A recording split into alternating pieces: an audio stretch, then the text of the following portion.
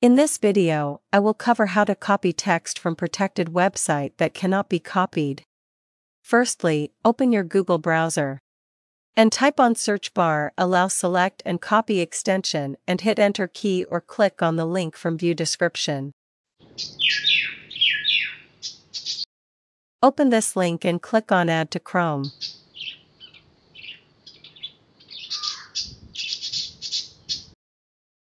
And then click on Add Extension. Pin this extension. Go to the website to copy text that cannot be copied.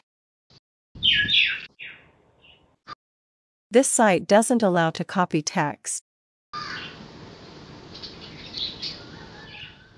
Click on the extension icon. Press Alt plus Shift plus A to enter Ultra mode.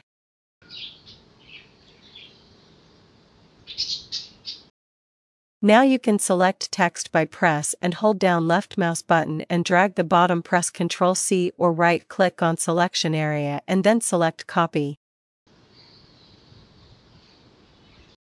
Open your Desire apps where you will paste, here as I open Word and press V for paste.